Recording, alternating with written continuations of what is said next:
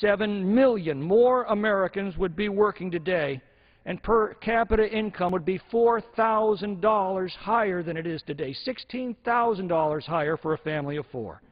Mr. Speaker, freedom works. It's time we put it back to work. Yield back. Gentleman's time has expired. The chair now recognizes the gentlelady from Cal Florida, from Wasserman Schultz, for five minutes. Thank you. Thank you, Mr. Speaker. I rise today in recognition of National Work and Family Month. As a mother of young kids in a household with two working parents, I know all too well the daily struggle facing today's American families. How can we be great parents and also be great at our jobs? This summer, when I was home in my congressional district, a constituent raised a question that particularly struck me. Can you imagine what a typical work week would look like if suddenly, without warning, every single child care provider failed to show up to work and left parents with no alternative child care options? From Wall Street to Main Street, America's businesses would come to a grinding halt, and the carefully spun web of endless schedules and systems and to-do lists that we've created to make it all work would unravel. With the number of parents working full-time on the rise, more and more families are fully engaged in the daily juggling act that comes with trying to do it all, particularly in today's economy when secure employment has become more tenuous. Parents have become increasingly hesitant to ask their employers for greater flexibility in their work schedule, to encourage their company to open a daycare center, or to ask for the option to work remotely. If anything, the current economic climate has led to an even greater need for increased flexibility.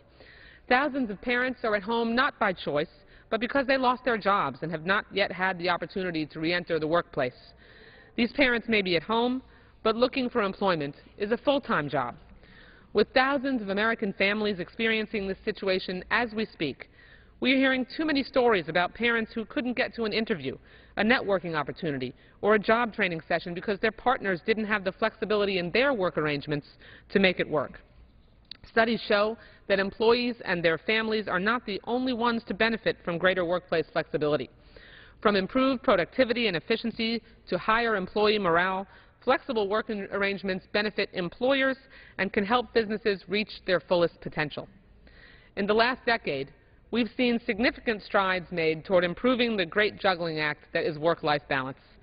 We cannot let this progress slip away during these challenging economic times. In the spirit of National Work and Family Month, I urge my fellow policymakers, employers, and employees to pause this month to think about how we can better work together to make it just a little bit easier for today's families.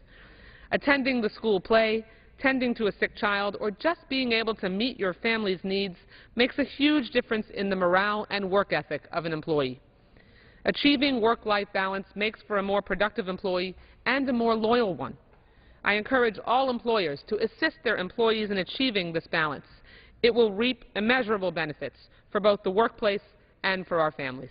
Thank you. I yield back the balance of my time. The gentlelady yields back. The Chair recognizes the gentleman from South Carolina, Mr. Gowdy, for five minutes.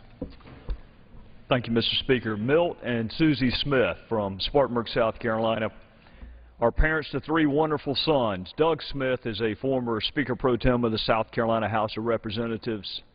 Stuart Smith is a brilliant real estate mind and a world-class Sunday school teacher. But, Mr. Speaker, I rise today in praise of their third son, Chip. Chip Smith is from Spartanburg, South Carolina, and his company, Blue Ridge Log Cabins, employs nearly 100 people in the 4th Congressional District. Blue Ridge Log Cabins is an innovator and a national leader in the modular log cabin industry and one of the fastest growing privately held companies in the nation. But, Mr. Speaker, I am not here to talk about that today. I'm here to talk about something even more significant and special than that. On Sunday, September 25th of this year, Extreme Makeover Home Edition spotlighted the efforts of Blue Ridge Log Cabins in their season opening episode on ABC. Over 10 million viewers witnessed the donation made by Blue Ridge Log Cabins to Barbara Marshall of Fayetteville, North Carolina. Chip Smith decided to build Steps and Stages Jubilee House to serve as a shelter for homeless female military veterans. Chip's generosity and Barbara Marshall's vision are providing an invaluable service to those who have sacrificed their safety for ours. This 8,000 square foot facility will provide the most basic necessity to those who cannot provide it for themselves, which is shelter. And when it comes to our veterans, Mr. Speaker, it is imperative that we encourage efforts like this and help those in need. So, Chip, thank you and your company for putting your time and treasure to use to help others. Mr. Speaker, times are tough, and people are hurting. The greatness of the American spirit is even in those times. We still reach out to others who are in need. So I am proud to call Chip Smith a constituent. I'm even prouder to call him my friend. And I yield back. The gentleman yields back. Chair recognizes the gentleman from Connecticut, Mr. Murphy, for five minutes.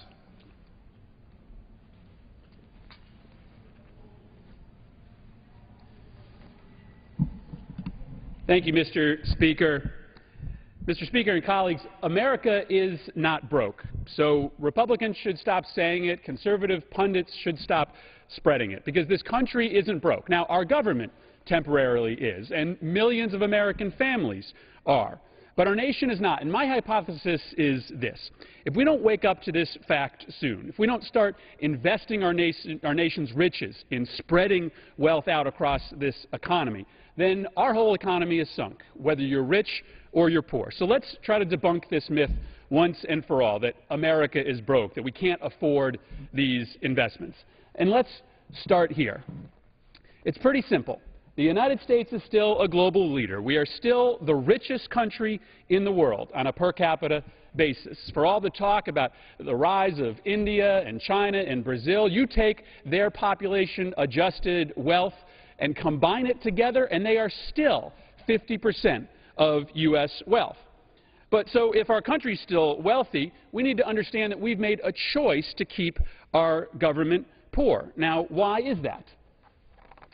Contrary to popular belief, it's not because discretionary spending is run amok. Take a look at this chart. Discretionary spending has essentially remained stable over time. We've had a brief uptick with a couple extraordinary pieces of legislation, but discretionary spending has remained stable.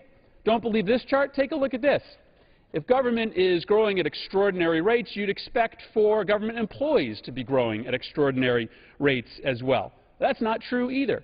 In fact, we have 16,000 less federal employees than we did in 1970, and as you can see, the trend line just from 1990 continues to go down as well. Now, this isn't all to say that government can't get leaner and meaner. It's just a suggestion that there's another culprit at work. And that other culprit is revenue. Despite what you hear on TV, despite what you hear on Fox News today, Taxes as a percentage of GDP today are at a 60-year low. Right now, we are collecting about 15% of our GDP in taxes. The problem isn't just that the government is broke, it's that we've made a decision, effectively, to keep it broke. Now, if the government isn't broke and this country is still the richest in the world, why is it that so many families feel broke? Why is it so many families are broke? Well, let's, let's explore that for a second. Here's the problem right here. Over the last 60 years, incomes for the bottom 99% of Americans have basically remained flat. And what that has meant is that all of the additional wealth that we've accumulated in this nation has gone to the richest 1%, such as their incomes during that same time have increased by almost 300 percent. You want to see it in even starker terms? Then take a look at this chart. The 400 wealthiest Americans have a net worth that is greater than the net worth of the 100 million poorest Americans. Let me say that again. The 400 richest of us have more money than the 100 million poorest of us. Now, having said all of this, let me say this. Getting rich is good. It's great. The richest 400 people didn't steal this money. They made it legally. We just have to start having policies in this country that make more people rich, that make more people feel rich. And so we need to be having a debate in this country right now about how we do that, about how we put policies in place to lift more people into the ranks of those that have enough to succeed. Because an economy with this kind of wealth disparity, combined with an unwillingness to make the investments to shrink it, is destined to collapse. And this isn't about pitting one group against another. This is just about economics. It's not class warfare to suggest that as an economy, we'd be stronger if incomes were rising for a few more people than the top 1%, the people who tend to spend domestically, the middle class, rather than invest internationally. It's not class warfare to suggest that our economy would be stronger if more of our nation's wealth went to local innovators and small businesses rather than to big multinational companies that tend to take income from the United States and use it to create employment overseas. And it's not class warfare to suggest that our economy would be stronger if more kids had access to the ultimate wealth creator, higher education, if we were investing our nation's riches in making college cheaper. You know what? If we have this discussion, everybody, not just the bottom 99% benefits from the discussion. My friends, the government is temporarily broke. Millions of American families are broke. But our nation is not broke. We're just pretending that we are. And here's the thing. If we don't wake up from this dream soon, what is fiction today will be fact before we know it. I yield back the balance of my time. The gentleman's time has expired. Chair recognizes the gentleman from Texas, Mr. Brady, for five minutes.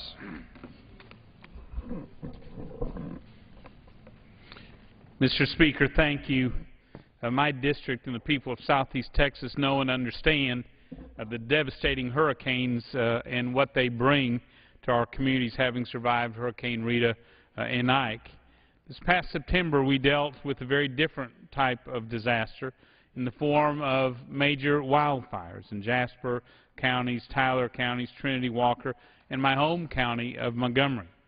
Luckily for us, we are also granted our September miracle on Labor Day weekend as fire crews from across Texas and in um, fact the entire country came to Magnolia to battle a three-county blaze that threatened to consume well over 10,000 homes and businesses in Magnolia as well as thousands more, thousands more in neighboring Grimes and Waller counties.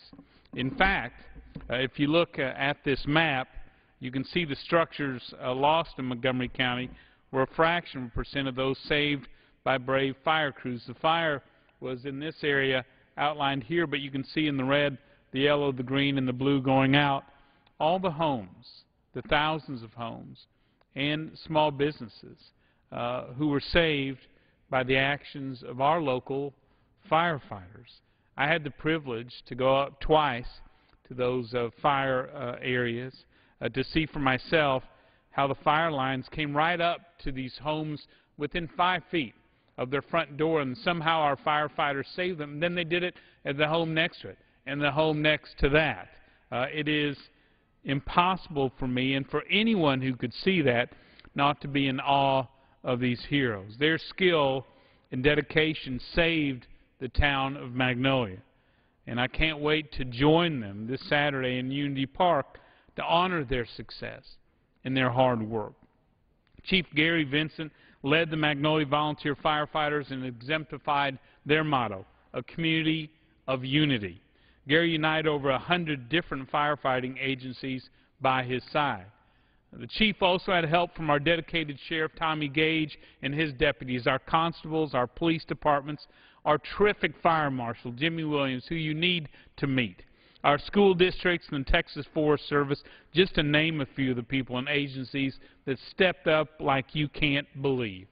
California, California sent uh, from the federal government an interagency incident management team, and I think they had their eyes open.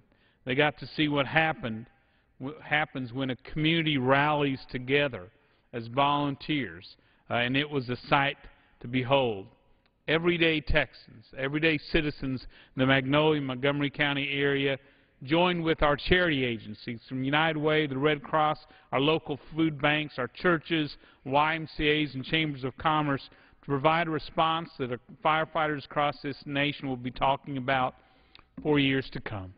We saw the best of our communities in the massive volunteer effort to feed, clothe, and take care of our bravest. At the Magnolia West High School staging area, I got to tour if a firefighter was thirsty, three volunteers would rush over with a bottle of water, and there was likely two more behind them carrying a hot meal, just in case that firefighter might be hungry. In speaking with the firefighters who came in from across the country, all they could talk about was how well they were treated at the community of Magnolia. They came in looking for water and a FEMA bar, and what they got was home-cooked meals, fresh clothes, and necessities. And if they asked for it, a volunteer found it and brought it uh, right over. And when these volunteers ran low, they simply sent out a message on Facebook to the community. Within three hours, that gymnasium, that staging area, the ag barn, was filled to the brim again. It was amazing. The outpouring of love and support was truly a sight to behold. It's no wonder back home we consider this God's country. Today it's an honor for me to be here on the House floor to honor uh, our heroes. Without all of you, thousands of families wouldn't have homes to go to tonight or businesses uh, to go work to. The proof is right here on this map. This Saturday afternoon in Unity Park in Magnolia, our community will come together to honor the men and women who beat back fire, held the line, and saved our community. We'll also honor them by heeding their warnings that the fire danger remains extraordinarily high. We must remain vigilant in our prevention efforts. That's another way we can honor our braves who spent the month of September away from their families, saving homes and businesses in our community. God bless our firefighters. God bless our volunteers and all who supported them. And God bless our community. With that, Mr. Speaker, I yield back. The gentleman yields back.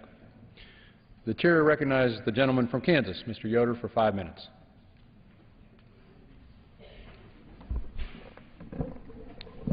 Thank you, Mr. Speaker. Today I rise to recognize the service and sacrifice of our nation's veterans and military service members who have answered our country's call to serve. Last month, we commemorated the 10th anniversary of the attacks of September 11, 2001, in remembrance of the victims and their families, while at the same time recognizing the need for continued vigilance as the United States seeks to rid the world of terrorism. This month, we commemorate the 10th anniversary of the Afghanistan War. Ten years later, our nation is safer as a direct result of the voluntary service of men and women who are willing to place themselves in harm's way, often under circumstances many Americans cannot fathom. This willingness to serve and dedication to duty remains consistent, as with previous generations of veterans who chose to serve their country during our greatest time of need. Unfortunately, we have lost some of our greatest treasure in our fight against terrorism. Since October 2001, 4,914 service members have been killed and another 46,376 injured as a result of military action in Iraq and Afghanistan. Recently, we again faced a tragic loss of life. On August 6th, a CH-46 Chinook twin-rotor helicopter carrying U.S. Army soldiers, U.S. Navy SEALs, and Afghan soldiers was shot down in the Wardak province of Afghanistan, resulting in the greatest loss of life in any combat incident in the entire conflict thus far. The unit involved, B Company 7th, 158th uh, Aviation, is headquartered in New Century, Kansas, in the southernmost part of my district. Last March, I had the privilege to attend the deployment ceremony for the unit as they departed for training at Fort Bliss ultimately deploying to Afghanistan as part of Operation Enduring Freedom. As my colleagues are well aware, members wanting, uh, as my colleagues are well aware, deployment ceremonies are often somber affairs with family members wanting to spend every last second with their loved ones before they depart for duty and soldiers assuring family members that they will be okay and not to worry. This past August, I was saddened to learn about the tragic events of August 6, 2011 hearing the news that three members of the unit had been killed during the combat operation. These soldiers, Army Specialist Spencer Duncan, Chief Warrant Officer Brian Nichols, and Army Specialist Alexander Bennett, are remembered as outstanding soldiers, dedicated to duty, their unit, and each other. Spencer Duncan was just 21, a 2008 graduate of Olathe South High School. He enlisted in the Army Reserve shortly after graduation and before deployment to Afghanistan. He served at the New Century A Air Center Aviation, Aviation Support Facility in Olathe, Kansas. First, he was an aircraft mechanic, and later he trained to become a Chinook door gunner. I had the honor of attending a memorial service for Specialist Duncan and witnessed the outpouring of friends and loving family. Brian Nichols was 31 and a pilot from Kansas City, Missouri, who, in hearing of the need to train people for mobilization, volunteered and sacrificed for our country leaving behind a wife and son. Alexander Bennett was 23 and was trained as a Chinook helicopter flight mechanic. Originally from Tacoma, Washington, he had already served one tour of duty in Iraq in 2009 before being deployed again, this time to Afghanistan. Mr. Speaker, our hearts go out to the families and friends of these three patriotic servicemen who gave the ultimate sacrifice that we all in this, in this country might continue to live in a nation of freedom and liberty. For their service and sacrifice to our nation, a grieving country says thank you. Mr. Speaker, next month we will celebrate Veterans Day and once again remember the service and sacrifice of all of those who have faithfully and dutifully served in peacetime and war throughout. I yield back the balance of my time. The gentleman yields back. Pursuant to Clause 12A of Rule 1, the Chair declares the House in recess until noon today. And the House returns at noon Eastern for legislative work among today's bills, swapping federal land for copper mine in exchange